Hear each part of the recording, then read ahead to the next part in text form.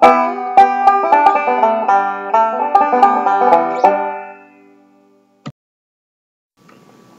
and welcome to Picking Bluegrass Banjo. Today we're going to learn to play the alternating thumb banjo roll.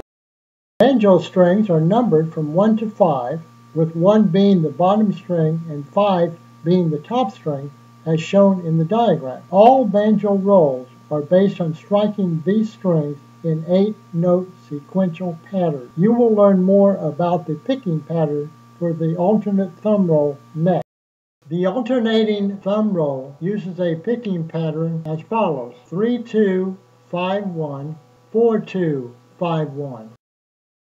Here is how it looks on the banjo. When played slowly, it sounds like this.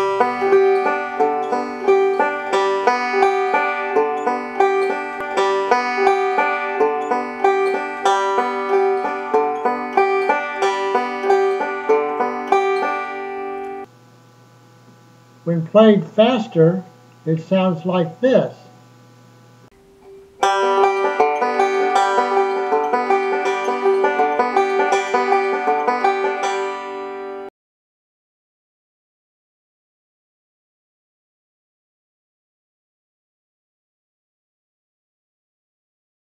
Using practice worksheet number two, let's play the exercise using the alternating thumb roll with lead-in.